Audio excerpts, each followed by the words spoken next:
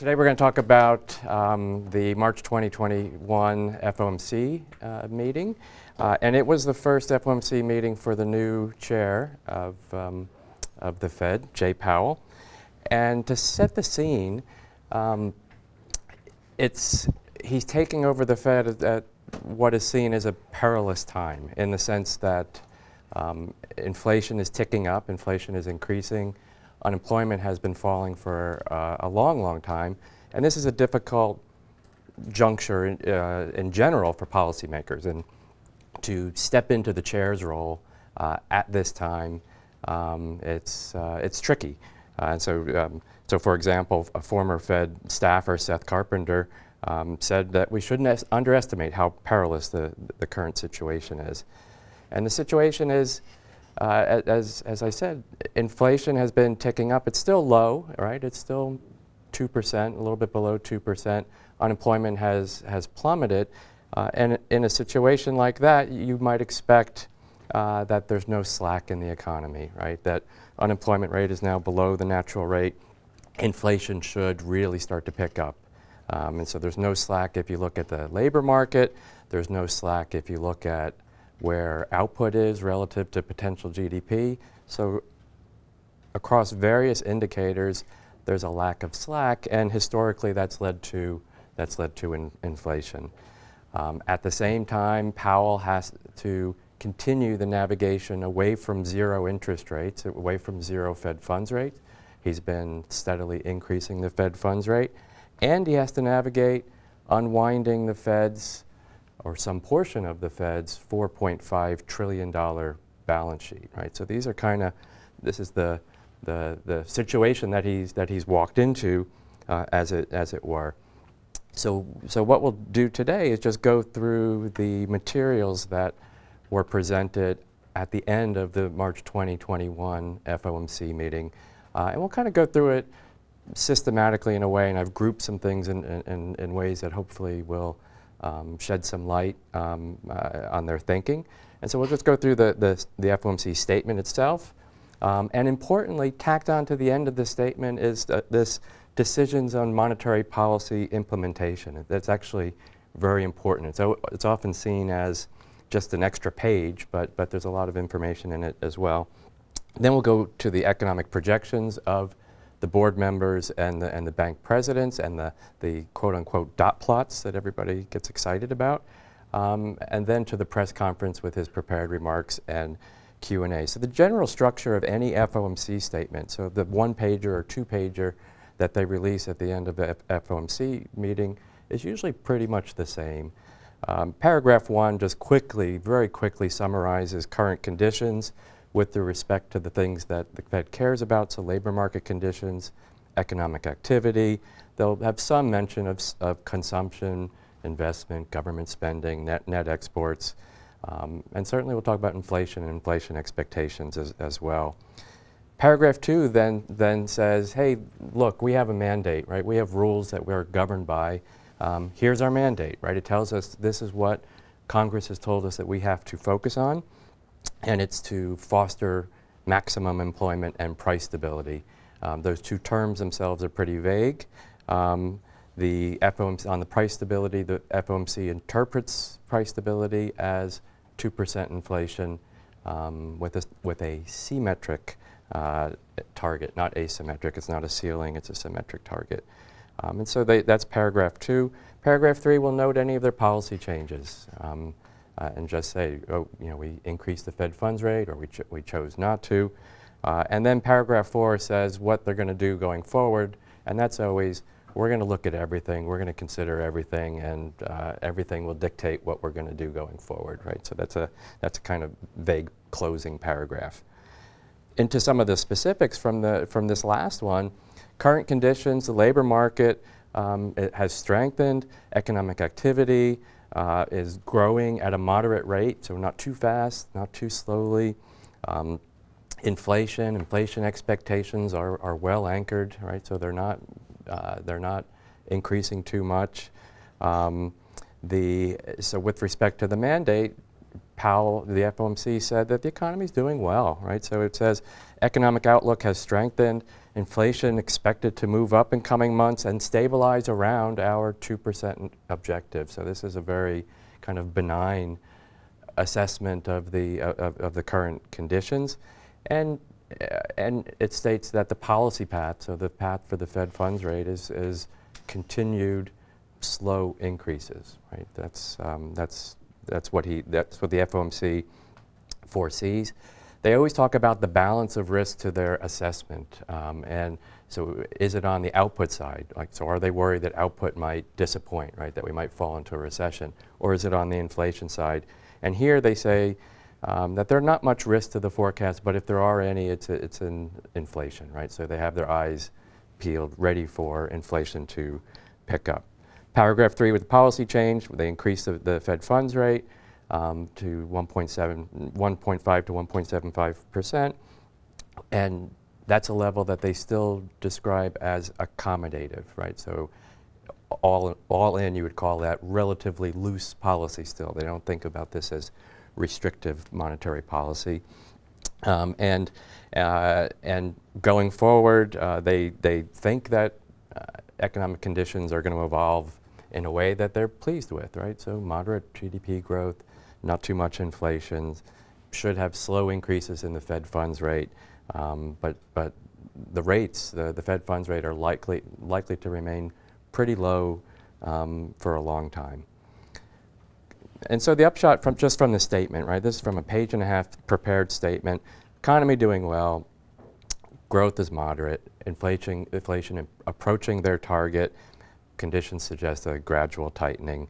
Monetary policy can be described as accommodative, and the committee is monitoring inflation developments closely. Of course they are. It's their, it's, it's their job, but they state it again at the, at the end. Then this second page that often is, uh, you know, some people overlook. Uh, the second page or, or, second item in the FOMC statement is this decisions on how to implement monetary policy. And there they mentioned um, a number of things, but also what they're going to do with their balance sheet going forward. Uh, and in particular, um, the balance sheet has been, so Janet Yellen announced in September uh, of last year that the balance sheet would start to be reduced um, by a certain amount each month. Uh, and this, this amount was 20 billion a month uh, that they were reducing the size of their 4.5 trillion dollar balance sheet. Um, and the way that they were doing this is every month, some of their holdings of treasuries and some of their holdings of agency debt um, mature, right? And so when they mature, they get that face value back. They get a big principal repayment back. It used to be that they would reinvest those principal repayments to, to maintain the size of the balance sheet so that it would not shrink at all. Now what they're saying is we're, we, um, um, we're going to let the, so through March, going to let the balance sheet shrink by 20 billion a month. That is, we'll reinvest everything else uh, above 20 billion, but 20 billion we're not going to reinvest. We're just going to let, the, let it roll off our balance sheet let the balance sheet um, um, reduce. Uh, and in April, so starting this month, it's uh, that's up to 30 billion, uh, 30 billion a month that they're going to allow this to uh, to decline, and the expectation is it'll go up to 50 billion a month uh, soon enough, right? And so this is the Fed telegraphing exactly how they expect to shrink their their very very large uh, balance sheet. Um, so that's, a, that's an, an, important point. Then you get to the economic projections, and this is um, something that's very new for the Fed, very new um, uh, if you're uh, old, uh, if you're old enough, uh, very new. But so January 2012 was the first time that they actually published their projections. before that, they never did. Um, uh, I think they were released maybe with a five-year lag previously, but now at the end of every other FOMC meeting, they'll, re they'll re um, release the projections. Um, the, these projections, to be clear, are, are the opinions of each of the seven board members, so the board members at the Board of Governors in Washington, D.C., plus the 12 presidents uh, of the regional Fed, Fed banks, right? So there's 12 regional Feds, Richmond, New York, uh, Philadelphia, Boston, et cetera, et cetera, out to San Francisco. Um, 12 regional Fed banks, and so there's 19 FOMC members um, um, or, or you know, people who uh, sub submit their uh, um, projections. And they're then brought together, the averages are taken, sort of trimmed means are taken, central tendencies, there's, there's the, for, the FO, for the Fed funds projections, they plot out every single projection. Now, uh, remember, this is just the individual FOMC members' opinions in some sense, right? So it's not an official projection. It's just a gathering of, of, of opinions. And I would put forward that it's actually difficult to extract meaningful information from these projections. That said, there's a lot of interest in them. You see, you, they're written about uh, after every FOMC meeting. One thing that you can say, so if you combine, if you, if, if you look back at what they were projecting for 2018, for this year, back in 2015 or back in 2016 or, or as opposed to now, the projections have really changed, right? So that is, the world didn't turn out the way the Fed thought it was going to turn out, right? So, uh, GD, so GDP growth is much stronger than they thought it was going to be. Unemployment is much, much lower than they thought it was going to be. But inflation is about where they thought it would be, right? So that is a, that is a disconnect there. They've got a much stronger economy with much lower unemployment than they expected, but inflation is right where they expect it to be. So that's a disconnect that we'll, that we'll come back to. The, these are the dot plots of the F, uh, different FOMC members' um, um, projections for the Fed funds rate. Um, and we can see what they're currently projecting in March 2018 versus what they were thinking uh, back in uh, 2015.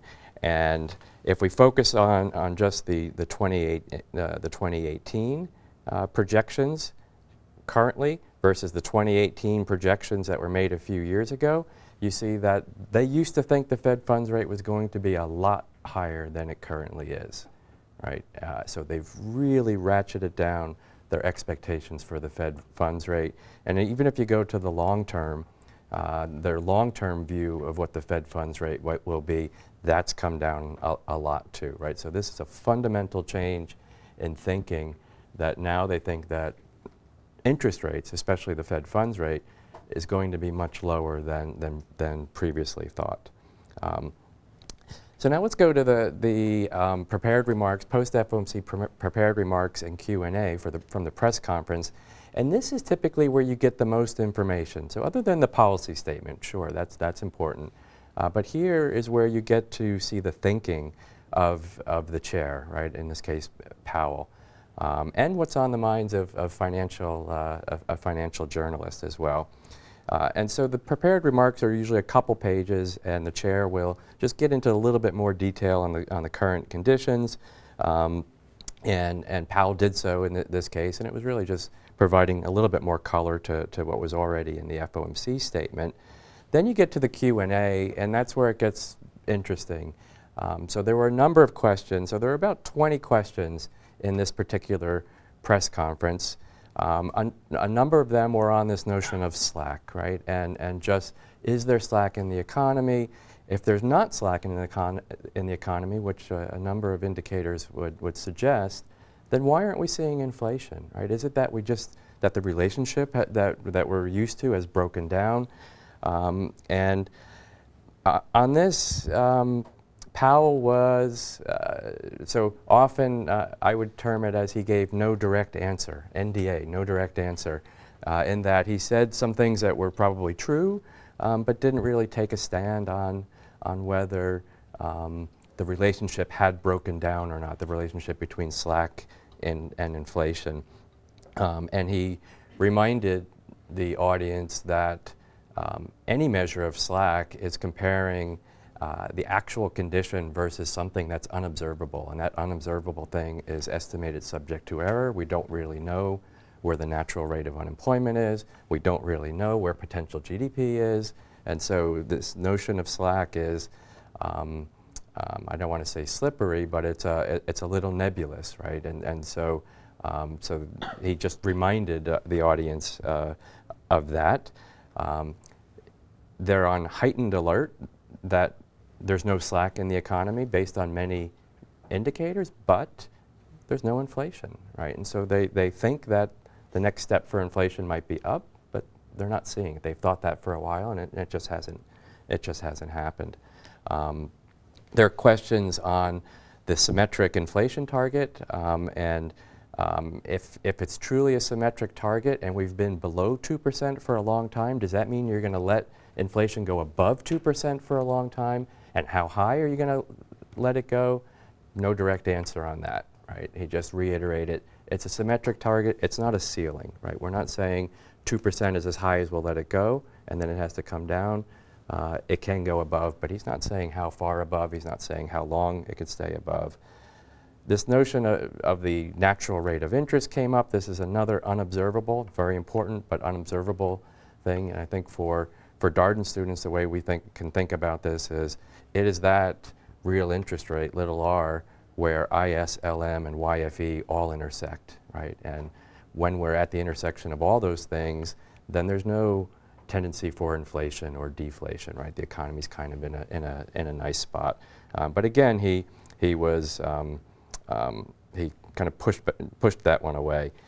There was then a lot of questions on fiscal policy, right? And so the Fed has no control over fiscal policy, right? That's done by uh, Treasury and Congress um, um, and, the, and the White House. Um, the, um, the first question was noting that there's a disconnect, that the Fed projections are for 2% growth in 2020 when the, when the administration's projections are for 3% growth, and that's a pretty big difference. Um, and he then said, well, if you're looking at the summary of economic projections, that's just a bunch of FOMC members writing down their opinions, right? That's not our, our official view necessarily, and so don't read too much into that. Um, but that said, if you're going to get 3% growth going forward, there has to be substantial improvements in productivity, in labor, labor force participation, things like that. So substantial supply side um, reactions to the fiscal policy. Um, that, that came back in another question, question, so it came, was in question three, question 10. Question 14 said, you know, I really wanted an answer to this and was very pointed um, and wanted Powell to opine on exactly how much growth we can expect from the fiscal package. Um, and again, he was, uh, he was pretty evasive on that, and he, he just said, look, we're pretty sure that this fiscal package will increase demand, and, and we hope it will increase supply too, right? But that was a pretty, um, uh, and then mentioned there's disparate views on this among the, among the committee members. So he, he didn't uh, he, he wanted no part in tackling this. Um, uh, he might going forward. Um, some Fed, Fed, chairs are comfortable talking about fiscal policy. Greenspan would always tell uh, Congress what they should do. Um, Powell right now is signaling that that's Congress and the administration's um, policy to deal with, and uh, uh, we're not going to opine on it right now. Um, a lot of questions about the dot plots, right? The dot plots that I showed, and people wanted to get at what's driving movements in these dot plots. Uh, and Powell repeatedly came back to um, the fact that the dot, the, these projections are just individuals' views, right? They're not official. Uh, and he said, the quote is, the projections are really just individual projections that are submitted and then compiled, right? So he's just saying, take it for what it's worth uh, read into it if you want, but I'm not going to um, actually address any questions on, on the projections. It's just a collection of views. Um, others pushed back on this, um, and, and actually, the question 10, somebody was trying to say, well, okay, I, I think I can interpret the dot plot movements like this, and he just said, I really wouldn't put a lot into that. It could make sense. You could imagine narratives in when that would make sense, but honestly, I wouldn't put too much into that. So he's just telling us, don't read too much into the summary of, of projections. Um, somebody else pushed on what the staff forecast was, and he said, And the staff, meaning the 250 or 275 PhD economists in Washington that come up with the board's forecast, and he said, we don't reveal that. Um, it, I think it comes out with a, with a lag. I can't remember what the, what the exact lag is, but it, at this time they don't, they don't reveal what the staff forecast is. Uh, I suspect that the board members' dots on the dot plots are consistent with the staff's forecast, but we don't know which dots those are. Uh, a lot of questions on tariffs and trade wars as well, uh, and he pretty much just said, um, you know, that has nothing to do with us, and uh, we don't do trade policy. And when he said we don't do trade policy, it's not that they don't think about trade policy. It's not that they don't have experts on trade policy. It's just not their. It's not. Um, uh, their role, right? Their role is monetary policy. They don't decide on trade policy. So for now, for this FOMC, he said, we're not really thinking about it. It's not that, not that important um, right this second. I suspect uh, in the next FOMC or the one after that, this will, this will um, gain uh, much more attention. Um, the next to last question was on asset bubbles and financial imbalances, and here's where the where Powell, I, I think, showed um, um, was was in his comfort zone, right? So he's not an academic economist. He's not as comfortable talking about nebulous ideas like the natural rate of interest or the natural rate of unemployment. But when you get to um, asset bubbles or financial imbalances or how banks are doing or how, how how the stress tests of banks are going, then uh, he's very comfortable with that. And so this was probably his, his longest response.